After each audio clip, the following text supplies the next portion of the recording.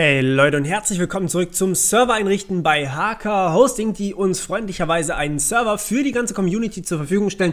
An der Stelle nochmal Werbung für unsere Webseite und unser Forum. Da geht's richtig ab. Wir sind über, weit über 100 Leute mittlerweile und ja, es ist einfach unglaublich cool, deswegen schaut mal vorbei. Ähm, Link wie immer in der Beschreibung, beziehungsweise, ja, ihr müsstet ihn eigentlich sogar schon kennen. Okay, ähm, also was wir heute machen wollen, ist, wir wollen HTTPS äh, einrichten für eure Webseite. HTTPS ist was, was bedeutet, äh, wenn jemand Webseiten, äh, wenn jemand auf eurer Webseite irgendwelche Daten eingibt oder sowas, also zum Beispiel Passwörter oder so, dann müssen die irgendwie eure Webseite erreichen.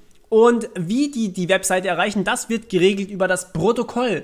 Und HTTP ist das Standardprotokoll, während HTTPS die sichere Variante davon ist. Das heißt, wenn ihr kein HTTPS habt auf eurer Webseite, dann kann jemand, der, sagen wir mal, ähm, ein Freund von mir möchte auf meine Webseite zugreifen, gibt dort seine Kreditkartendaten ein ähm, und ich habe kein HTTP dann ist es an sich nicht schlimm, aber es ist schlimm genau dann, wenn er zum Beispiel einen Hacker in seinem eigenen WLAN hat oder wenn irgendjemand auf seine Leitung Zugriff hat, dann kann der nämlich unverschlüsselt diese Daten einfach angucken. Und das möchte man normalerweise eigentlich unterbinden, denn ja, Passwörter werden wie gesagt irgendwie an eure Webseite übertragen und äh, man kann diese Passwörter brechen, wenn sie an eure Webseite übertragen werden. Ähm, und deswegen möchte man die gerne verschlüsseln. Und das macht man eben mit HTTPS. So, das war jetzt die kurze Variante. Lange Variante für HTTPS bzw. Verschlüsselung findet ihr erstens mal in den Kryptographie-Playlists, äh, in der Kryptographie-Playlist ist nur eine. Ähm, da wird dann ausführlich über Krypto auch noch geredet, also wie verschlüsselt wird. Asymmetrische Verschlüsselung ist hier das Stichwort. Ähm, und wir werden auch noch HTTPS, also generell diese ganzen Netzwerktechnik-Protokolle bald behandeln. Ich hoffe, ihr freut euch drauf. Falls ja, lasst mir ein Like oder ein Kommentar oder sonst irgendwas da. Ihr wisst, ich lese die alle. Ähm, genau, was wir jetzt machen werden, ist, wir werden Zertbot benutzen. Ähm, warum schreibe ich dann in der Beschreibung Let's Encrypt? Let's Encrypt sieht so aus. Let's Encrypt hat eine Software geschrieben, nennt sich Zertbot und die macht das eigentlich alles für euch. Ziemlich, ziemlich geile Sache. Ähm, ja, und ist mega easy. Also, das heißt, das Einzige, was wir brauchen, achso, halt, ich bin schon als äh, Root-User hier angemeldet, gerade mal. Ähm, mit sudo su. Warum habe ich das gemacht? Weil wir was installieren wollen. Dazu brauchen wir eh immer Root-Rechte und so geht's schneller. Also, wir brauchen erstmal ein ähm, neues, also wir müssen in unsere, achso, wir benutzen übrigens Ubuntu, ist aber auch für alle anderen ähm, Varianten von Linux möglich. Ich glaube sogar für Windows-Hosts ist alles möglich, also kein Problem. Ähm, wir brauchen jetzt erstmal ein neues Repository, das heißt, wo dieses Ding gespeichert ist. Ähm, und das müssen wir erstmal hinzufügen, weil es nicht in den offiziellen Paketquellen für Linux dabei ist. Aber das macht absolut nichts. Ähm, add apt-repository ppa Doppelpunkt zertbot slash zertbot. So, mega easy. Ähm, Richtig, wenn ich es installiert hätte. Das heißt, äh, wir müssen hier auch noch das installieren, damit wir überhaupt was zu unseren, ähm, zu unseren Repositories hinzufügen können. Warum müssen wir das extra installieren? Weil wir eine minimale Version von Linux haben. Einfach dieses Kommando hier kopieren, add get install ähm, software properties common. Ähm, ja, wollen wir installieren. Und warum brauchen wir das? Wie gesagt, damit wir hier dieses Repository hinzufügen können. Ähm, ansonsten sind Fremdrepositories, glaube ich, gar nicht möglich. So, kurz warten, bis es fertig ist. Ähm, derweil, es ist immer sehr, sehr gut, wenn ihr ein Add, apt-get Update und ein apt-get Upgrade ausführt, wenn ihr gerade an euren, ähm, an euren Rechner geht, beziehungsweise an euren Server. Das solltet ihr sowieso immer machen. Und äh, dann läuft das auch ohne Probleme. Okay, ist hinzugefügt. Jetzt. So, sehr gut. Das heißt, wir haben jetzt hier Schlüssel ausgetauscht und so weiter und so fort. Und ja, jetzt können wir ähm, das ganze Ding benutzen, aber wie gesagt, wir brauchen erstmal dafür, damit wir es benutzen können, ein apt-get update. Und wenn wir schon dabei sind, machen wir auch noch gleich ein Upgrade, aber dazu pausiere ich euch dann einfach mal weg. Oder ich mache es nachher. Ähm, genau. So, jetzt sind wir in der Lage, diese wunderbare Software zu installieren. apt-get install install, nicht mit Ö, mit L. Zertbot. So, ziemlich coole Sache. Ähm, wie gesagt, der macht eigentlich echt alles für euch. Also da habt ihr dann auch später ein Programm, äh, ein, einen kurzen Befehl, um euer kompletten Key zu erneuern. Die laufen nämlich immer relativ schnell ab. So ungefähr eineinhalb Monate, also 90 Tage, nee, drei Monate sind das, ups, ähm, sind sie, glaube ich, Moment, das waren aber keine drei Monate. Auf jeden Fall sind sie nicht sehr lange gültig. Also ihr solltet ungefähr einmal im Monat so dran denken, eure Keys zu erneuern. Warum solltet ihr das machen? Naja, ansonsten, wenn ihr einmal den Key verliert oder der Key äh, irgendwie geklaut wird oder sowas, dann ist er aber nicht so ewig gültig, sondern nur ein Monat zum Beispiel. Das heißt, man hat nicht so eine lange Verwundbarkeitszeit. Also es ist nicht ganz so schlimm. Wahrscheinlich ist es deswegen gedacht. So, ähm, was wir jetzt brauchen, ist folgendes. Wir wollen uns einen Schlüssel generieren lassen. Wie machen wir das? Ähm, wir lassen einfach hier eine Schlüsselgenerierung laufen. Das heißt, zertbot zert, ups, zert only. Halt, stopp, da fehlt noch was. Ähm, zertbot minus auto. Also damit es automatisch quasi läuft, so heißt einfach die Anwendung, keine Ahnung warum. Ähm, zert only minus a web root. Und jetzt könnt ihr den Speicherplatz von eurem Zertifikat angeben, also web root minus path. So, und jetzt könnt ihr angeben, wo euer Webroot Path ist, zum Beispiel in User Share Nginx und HTML. Das ist so der Standardpfad. Wenn ihr den nicht geändert habt, ist es normalerweise da. Den letzten Slash brauchen wir nicht. So, und jetzt brauchen wir es für die Domain. Jetzt müssen wir hier den Domainnamen wieder kennen. Also hier den Domainnamen hinten dran eingeben, minus D. Dann den Domainnamen, äh, also in unserem Fall zum Beispiel the-morpheus.de, werde ich jetzt nicht benutzen, ähm, weil wir dafür schon ein Zertifikat haben und das wie gesagt ein völlig anderer Server ist, der nicht mal auf diese Domain läuft. Ähm, sagen wir einfach mal, ja, domain.com. Warum nicht? Okay, und wenn ihr noch eins wollt, dann einfach mit minus d nochmal eins angeben, zum Beispiel www.domain.com oder für euren E-Mail-Server minus d mail.com domain.com, okay, domain.com. Ähm, so habt ihr gleichzeitig auch noch was für euren Web, äh, für euren E-Mail-Server. Okay, also das einfach alles laufen lassen und ja, dann werden gleichzeitig Ah, doch ohne Auto. Okay, ähm, irgendwo war Auto dabei. Hatte ich wohl falsch im Kopf. Also doch mal ohne Auto probieren. Und ja, jetzt läuft das Ganze, dauert ein bisschen. Vor allem, weil er halt sehr, sehr viele Schlüssel generieren muss. Ähm, und hier muss man eine E-Mail-Adresse hinterlegen. Ähm, aber wir werden das jetzt, wie gesagt, alles, nee, wir werden es nicht abbrechen. Wir machen das jetzt. Ähm, die wird gebraucht für Urgent Renewal and Security Notices. Da nehme ich jetzt einfach mal meine Kontakt at mail. the-morpheus, Alter, ich kann heute nicht tippen, .de. Ähm, aber die bitte nur für Geschäftsanfragen äh, oder sowas benutzen, wenn ihr irgendwelche Fragen oder sowas habt. Nutzt das Forum, nutzt dort die PN-Möglichkeit auf YouTube, auf Facebook könnt ihr mich erreichen, auf Twitter könnt ihr mich erreichen. Ich glaube, das war's erstmal. Okay. Ja, ähm. Kurz warten, wie gesagt, dauert eine Weile. So, und ich habe das jetzt mal abgebrochen. Ähm, warum habe ich es abgebrochen? Klar, weil mir die Domain.com überhaupt nicht gehört. Ist mir gerade aufgefallen, dass wir die benutzt haben. Ähm, aber selbst mit meiner wird es nicht funktionieren, weil ich ja dafür schon ein Zertifikat habe. Ähm, genau, was ihr jetzt machen müsst, ihr müsst das ganze Ding trotzdem noch eintragen. Also wir nehmen jetzt einfach mal an, ihr habt so ein Ding eingetragen, was dann, äh, was ihr habt so ein Zertifikat bekommen. Was ihr dann noch machen müsst, ihr müsst das ganze Ding eintragen. Wie gesagt, ihr musstet eure E-Mail-Adresse angeben für solche Dinge. Und ja, jetzt müsst ihr hier in Nginx, also wir werden jetzt wieder mit Nginx arbeiten. Falls ihr Patch oder sowas benutzt, dann äh, müsstet ihr vielleicht mir schreiben oder warten auf ein passendes Tutorial oder sowas. Was ihr auf jeden Fall für Dateien bekommen habt, ist eine zert.pem-Datei. Da ist euer Zertifikat drin. Ähm, eine chain.pem eine fullchain.pem, genau an dem Ordner, den ihr angegeben habt und ganz wichtig, euer Briefkey .pem. Das ist euer Private Key, den niemals, absolut niemals irgendwem auch nur entfernt in die Hände drücken. Ähm, am besten nicht mal selber haben. Das ist sowieso. Also, wie gesagt, Private Key ist auch wirklich private gedacht.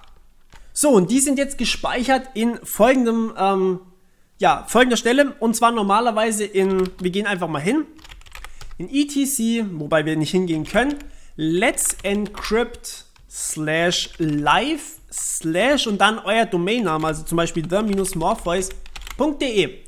Ähm, das wäre der Pfad, an dem eure, ja, bei mir nicht vorhanden natürlich, an dem eure Keys gespeichert werden, also die vier, die ich euch gerade gesagt habe. Was ihr jetzt machen solltet, ist folgendes. Und zwar, ihr solltet euch nochmal ähm, ein paar Parameter generieren. Das macht ihr, indem ihr OpenSSL benutzt, also ein paar Security-Parameter sozusagen, damit ihr kryptografisch nochmal, hm, das ist jetzt schwer, ohne ins Detail zu gehen, zu sagen, aber wenn ihr die generiert, dann habt ihr nochmal bessere Verschlüsselungsmöglichkeiten. Sagen wir es mal so. Wenn ihr mehr Informationen haben wollt, Achtung, für die Leute, die mich immer mit gefährlichem Halbwissen betiteln, ähm, es gibt eine Kryptographie-Playlist und die handelt nur darüber. Die hat 100 Videos, das kann ich nicht in einem Video bringen. Okay, also dhparam ähm, minus out. So, und die machen wir in etc. SSL, Certs und dann dhparam.pem 2048. Was ihr hier macht, ist eine starke Diffie-Hellman-Gruppe zu generieren. Ähm, und zwar, ja, mit 2048 Bit Parameter. Okay, könnt ihr mal machen. Ähm, es sagt sogar hier, this is going to take a long time, aber er lügt eigentlich, so lange geht es gar nicht. Also es ist schon deutlich länger andere Sachen gegangen. Gut, nachdem das jetzt generiert ist, ich habe das jetzt einfach mal weggemacht, das ist einfach nur ein Mix aus Punkten und Plussen und so weiter. Ähm, das ist nicht wirklich interessant, aber was wichtig ist, die Datei wurde jetzt generiert. Und was ihr jetzt machen könnt, ist, ihr könnt in eurem Nginx endlich mal alles eintragen. Das ist jetzt einiges zum Eintragen. Ich werde euch das, Achtung, hilft mir dran denken, wenn ich es nicht mache, dann habe ich es vergessen. Ähm, in der Beschreibung müssen die Sachen drinstehen. So, ähm, jetzt, was wir machen wollen, ist, wir wollen wieder mal unsere Standardseite editieren, also die, ähm, ja, wir machen einfach mal Vim in etc von Nginx und dann Sites Available und hier die Default, das wollen wir editieren. So, und wir wollen jetzt hier eben nicht mehr auf HTTP, sondern wir wollen ganz, ganz wichtig auf HTTPS hören. HTTPS benutzt einen anderen Port, nämlich 80 ist für HTTP reserviert, ähm, 443 ist für SSL bzw. HTTPS reserviert. Ähm, wichtig ist auch, dass ihr in der Firewall diesen Port erlaubt, aber das halt solltet ihr eigentlich eh schon haben. Wie gesagt, ähm, wenn ihr es bei mir gemacht habt zumindest. Also wir machen das hier raus. Ähm, das kommentieren wir auch aus. So, und jetzt das hier könnt ihr einfach drin lassen, ganz normal. Aber wir wollen oben dran noch was einfügen. Und zwar hier. Okay, also jetzt ist wichtig, wie gesagt, dass ihr diesen Port listen 443, dass ihr diesen Port hier in UFW, also eurer Firewall des Vertrauens, was auch immer ihr da benutzt, dass ihr den erlaubt habt. Ähm, wenn ihr den nicht erlaubt habt, dann schaut euch in meine anderen Videos ein, einfach UFW allow und dann den Port eingeben. Ähm, genau, haben wir aber, wie gesagt, eigentlich alles schon gemacht. So, jetzt wichtig, SSL Bodenstrich Certificate. So, hier kommt euer Zertifikat rein. Das schreibe ich auch nicht alles nicht in die äh, Beschreibung rein. Das ist ähm, sowieso bei jedem anders. Nicht, dass es da wieder Copy-Paste-Fehler gibt, das wollen wir nämlich nicht.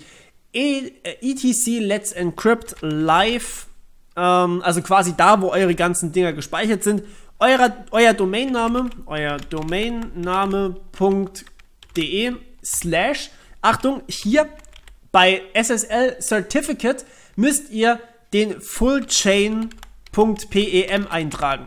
Während bei SSL Certificate Bodenstrich Key, Achtung, hier muss ein Bodenstrich Key hinten dran stehen, ähm, liegt zwar an derselben Stelle, aber live euer domainname.de slash. So, jetzt müsst ihr hier den Private Key eingeben, also privkey.pem. Okay? Also wichtig, bei SSL Certificate die Full Chain angeben, bei SSL Certificate Key den Priv angeben. So, Jetzt, den Kram könnt ihr eigentlich alles kopieren von mir. Ähm, das ist auch nicht mehr wirklich spannend. Wie gesagt, was ich hier macht, ist folgendes. Ihr tragt erstmal ein, welche Protokolle erlaubt sind. Das wären bei uns TLS, ich kopiere das auch gerade mal hier rein, ähm, die erste Zeile. TLS Version 1, 1.1 und 1.2. Ähm, das ist sozusagen die Version von HTTPS, die ihr bei euch erlaubt. Dann ähm, gebt ihr hier an, dass ihr gerne immer verschlüsseln würdet. Und dann sagt ihr, womit ihr denn verschlüsseln wollt. Das macht ihr eben mit eurer Strong Diffie-Hellman Group. Ups, einrücken. Ähm, genau, deswegen haben wir die gerade generiert. Also wie gesagt, hier diese DH-Param, das war das, was sie gerade eben generiert haben, diese 2048-Bit. Ähm, genau, und den Kram könnt ihr jetzt wirklich komplett von mir kopieren. Das sind einfach die Verschlüsselungsverfahren, die erlaubt sind. Das ist tatsächlich sehr, sehr viel. Wir haben hier AES 128, wir finden hier vielleicht noch RSA irgendwo, Shay 256 in Kombination mit AES und so weiter und so fort. Das sind einfach irgendwelche ähm, Varianten, die erlaubt sind und Varianten, die eben auch nicht erlaubt sind. Also zum Beispiel DES wollt ihr nicht haben und so weiter und so fort. Ähm, genau, das ist im Prinzip nicht wirklich relevant für euch. Hier müsst ihr einfach nur copy-pasten. Wenn ihr das ordentlich macht, kann da eigentlich auch nichts schief gehen. So, was wir jetzt noch machen, Session Timeout setzen wir auf einen Tag. Das heißt, wie lange äh, kann ein User quasi die ganze Zeit die Website refreshen, bevor irgendwie wieder neue Schlüssel ausgetauscht werden müssen, ist ein Tag. Das ist aber auch nicht so schlimm. Ähm, der Cache, ja, können wir eigentlich auch so, könnt ihr so von mir übernehmen. Ähm, das hier, wie gesagt, also der SSL Session Cache Shared, ähm, genau. Und dann noch ein paar andere Eigenschaften, die ich jetzt einfach mal hier reinkopiere. Die müssen euch auch nicht unbedingt was sagen. Okay, so, was wir jetzt noch weitermachen wollen, ist, wir wollen HTTP komplett abschalten. Das heißt, wir wollen, ähm, dass man sich nur noch über HTTPS verbinden kann. Das unterstützt heutzutage wirklich jeder Browser. Aber wenn jemand eure Webseite über HTTP anwählt, dann könnte es immer noch sein, dass er einfach zu blöd war und äh, vielleicht seine Daten trotzdem geklaut werden. Das wollen wir natürlich verhindern. Was wir deswegen machen, ist ein sogenannter Redirect. Ich scroll hier mal ganz runter. Achtung, ihr müsst außerhalb der letzten Klammer sein. Das heißt, äh, hier. Und hier gehen wir jetzt einfach her und eröffnen sozusagen einen neuen, in Anführungsstrichen, Server, der auf Port 80 hört. Also quasi das, was wir gerade eben weggeschmissen haben, das, was wir hier oben auskommentiert haben, ich scroll nochmal kurz hoch, hier, das haben wir auskommentiert, das heißt Port 80, also HTTP, seid ihr jetzt aktuell eigentlich nicht mehr erreichbar offiziell. Aber wir wollen, dass, dass Port 80 trotzdem noch weiterhin funktioniert, aber redirected auf Port 443, also auf HTTPS. Also wir hören auf Port 80 ähm, und wir sagen, der Servername äh, ist localhost Ups, localhost. So. Und was wir jetzt noch machen ist, wir returnen 301, also ein, ups, 301, also ein Redirect auf https Doppelpunkt slash slash und dann, Achtung, Dollar Host Dollar Request Bodenstrich URI Semikolon. Also Semikolon nicht vergessen. Ähm, okay, was ihr jetzt hier gemacht habt, ist, wie gesagt, wenn jemand eure Webseite auf HTTP anwählt, dann wird der automatisch auf HTTPS umgeleitet. Das ist ziemlich cool und echt nötig. Und ja, das war's auch schon wieder für dieses Video. Ähm, ich hoffe, es hat euch gefallen. Und wir sehen uns beim nächsten Mal. Lasst ein Like da oder shared das Ganze. Das wäre nämlich noch cooler. cooler. Äh, und schaut im Forum vorbei. Ganz wichtig. Ja, wir hören uns. Bis dann. Ciao. Haha, da habt ihr gedacht, ich bin schon fertig? Nein, bin ich nicht. Ähm, und zwar, ja, wir brauchen natürlich noch was. Wir müssen erstmal noch Engine X neu starten. Für die Leute, die das nicht wissen oder noch nicht geguckt haben oder sowas. Ähm, ja, wir gucken erstmal, ob wir das Ganze überhaupt machen können. Das machen wir mit minus T. Da wird gecheckt, ob eure Syntax in Ordnung ist. Wenn da was falsch bei rauskommt, dann könnt ihr es auch nicht neu starten. Da müsst ihr nur mal kurz durchgucken, ob alles stimmt. Bei uns ist alles in Ordnung. Was wir jetzt machen, ist Service Nginx äh, Restart. Und schon wird euer Service neu gestartet und tatsächlich sind dann eure ähm, Zertifikate in Ordnung. Und wenn ihr das Ganze mal probieren wollt, dann schaut auf sslabs.com nach, ob wie eure Seite abschneidet. Da kann man einen Test laufen lassen, wie gut die Seite verschlüsselt ist. Und eigentlich solltet ihr ein A Plus bekommen für das, was wir gerade eingerichtet haben. Okay, das war's von meiner Seite. Wir hören uns beim nächsten Mal. Bis dann. Ciao.